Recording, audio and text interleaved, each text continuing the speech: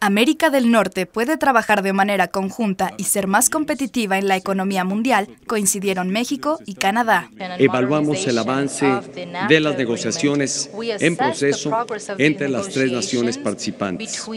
Tanto el primer ministro Trudeau como un servidor, seguiremos trabajando para llegar a una actualización benéfica y positiva para los tres países.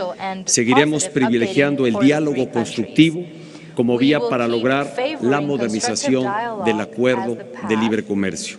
En un mensaje conjunto a medios de comunicación con motivo de la visita oficial del primer ministro de Canadá, Justin Trudeau, a México, el mandatario mexicano pidió centrar la atención en las mesas de negociaciones que se lleva a cabo en este momento en Estados Unidos. México pone su su interés por lograr un buen acuerdo pero será importante que este acuerdo sea positivo y bueno para las tres partes. No lo puede ser solo para una, ni podemos ser rehenes de una sola posición. Queremos realmente lograr un buen acuerdo. México es un país abierto al mundo. México tiene por política de Estado la apertura al mundo.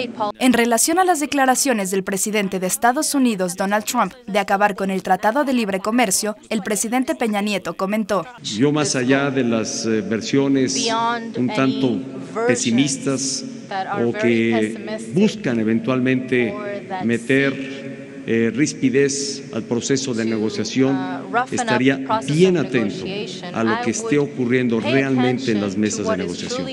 Cualquier otra expresión, cualquier otra posición que ocurra fuera de esas mesas, pues no dejan de ser más que especulaciones. Por su parte, el primer ministro de Canadá, Justin Trudeau, dejó en claro que su país toma las negociaciones de manera seria porque continuarán trabajando responsablemente. Sabemos que existe un camino, que existe la oportunidad de crear éxito para los, los ciudadanos de los tres países, de crear crecimiento para nuestros países y nuestras comunidades y demostrar a todo el mundo que América del Norte puede trabajar de manera conjunta y que podemos así ser incluso más competitivos en la economía mundial. Seguiremos teniendo y tomando muy en serio las propuestas y no vamos a abandonar la mesa de negociación teniendo en cuenta las propuestas que se presenten, sino que las vamos a debatir, vamos a presentar contrapropuestas y tomarnos las negociaciones muy en serio. Durante el evento que tuvo lugar en Palacio Nacional, el jefe del Ejecutivo agradeció a Canadá la ayuda prestada a los mexicanos luego de los sismos del 7 y 19 de septiembre. En nombre de todos los canadienses, quisiera expresar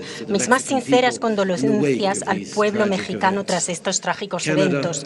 Canadá se alza unida a nuestros amigos mexicanos en estos tiempos increíblemente difíciles.